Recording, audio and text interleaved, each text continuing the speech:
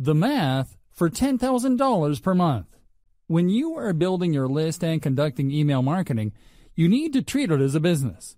This means that you need to know the numbers or metrics that are important. You need to look at opt in conversions and the value per subscriber as a minimum. Too few internet marketers really know their numbers. They try many different approaches and do not measure how well they performed. You must take the time to do this. It is just simple math in a lot of cases. $1 per month per subscriber. For a long time in the internet marketing world, it has been accepted that each email subscriber that you have on your list is worth $1 per month. This does not mean that every subscriber is going to spend money. It means that on average, there is a dollar per month spent per subscriber. Nothing has changed for us to believe that this rule of thumb is not relevant today. There will never be a shortage of people that want to learn how to make money online, for example. They will spend money on the resources that they need to achieve this. So, base all of your calculations on $1 per subscriber per month, getting to 1,000 email subscribers. Your aim should be to get 1,000 email subscribers on your list in the first month.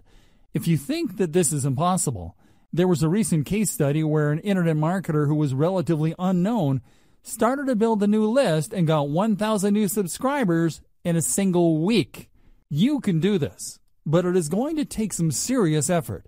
It will help if you are willing to throw some money at this. In a later section, we will provide you with some very good ideas to drive traffic to your squeeze page, more on this later, so that you can rapidly build your list.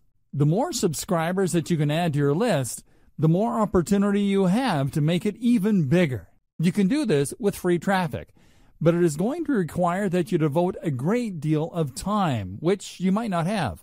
There are a lot of tasks that you can outsource to drive traffic, and if you have the budget, then you can leverage your time by doing this. Getting to 5,000 email subscribers. After you have reached your 1,000 email subscriber target, you need to aim to grow your list to 5,000 subscribers. Again, you can use techniques such as ad swapping, explained later, to make this happen. Make it a target to have 5,000 email subscribers by the end of the second month, getting to 10,000 email subscribers. This is the magic number. If you apply the rule of thumb about email marketing, then 10,000 subscribers will mean $10,000 a month or more.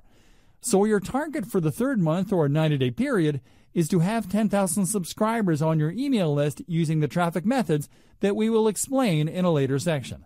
Once you get to 10,000 email subscribers, you don't want to stop there. Keep on building your list for as long as you can. Imagine having 20,000 email subscribers. That should bring you in $20,000 per month. What about 50,000 subscribers or 100,000 subscribers? The math is easy, so get excited about list building.